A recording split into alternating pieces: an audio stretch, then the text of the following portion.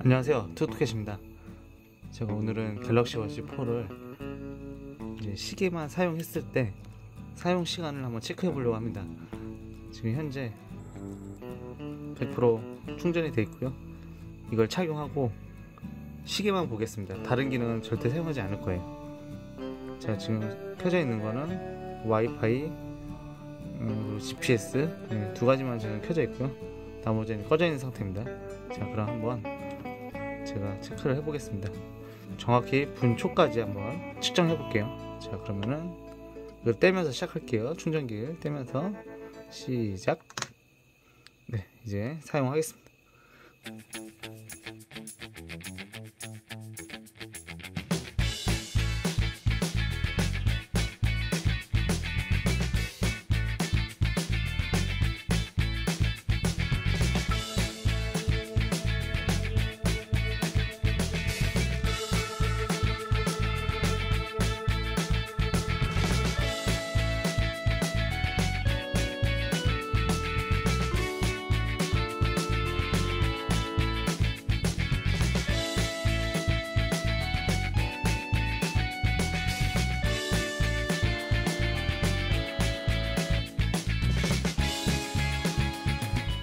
자, 한번 중간 체크를 해볼게요. 지금 27시간 11분을 지나고 있고요. 지금 배터리 남은 용량은 29%입니다. 30%도 안 남았네요. 이틀은 못 써요, 이게 지금 이대로 가면. 근데 시계를 제가 한 시간에 한 번, 두 번 볼까 말까예요. 그 정도로 그렇게 많이 보지도 않는데 이 배터리 소모량이 대단하네요. 스펙상 사용 시간이 짧아진 것도 아무래도 이런 기능들이 많아지면서 사용 시간이 짧아진 게 아닐까 싶습니다. 자, 끝까지 한번 배터리 0%가 될 때까지 한번 재볼게요. 어, 완전히 이제 배터리 0, 0% 떴죠? 총 사용 시간은 38시간 22분. 이거 뭐 하루살이보다 14시간 더 사네요. 이게 배터리 용량이 너무 아쉽네요.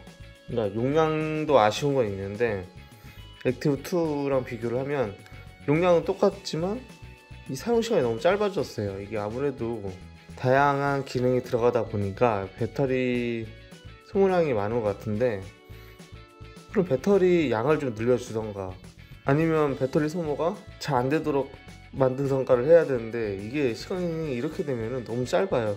액티브 2 쓸 때는 그래도 2, 3일에 한 번은 충전을 했어요. 근데 지금 이 갤럭시 워치 4는 하루에 한 번 정도는 충전을 해야 된다는 거예요. 그러면은 횟수가 너무 잦아요.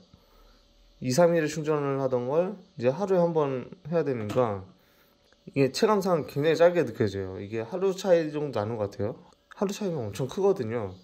일주일에 액티브 2는 뭐 한 세 번 정도 충전을 했으면 얘는 대여섯 번 충전해야 되는 거예요. 이거는 좀 앞으로 개선을 해야 되지 않을까. 이게 소프트웨어를 업데이트를 하면은 이게 좋아질지 모르겠는데 그렇지 않다면 이제 배터리 용량을 늘려줬어야 되는데 그렇지도 않거든요. 제가 지금까지는 좀 좋은 기능들을 많이 설명드렸는데 이번에는 이 배터리가 너무 아쉬워서 깔 수밖에 없습니다.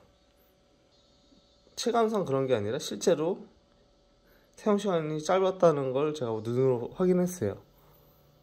삼성에서 보여주는 스펙도 40시간 정도로 표시가 돼 있었으니까 뭐 얼추 맞은 거죠. 뭐 40시간 못 썼어요. 근데 제가 시계를 아예 안 봤으면 40시간은 썼을 것 같네요. 네. 근데 저는 시계를 조금씩 보면서 사용을 했기 때문에 1시간 40분을 덜 쓴 것 같아요. 앞으로 좀 많이 개선이 되었으면 좋겠습니다.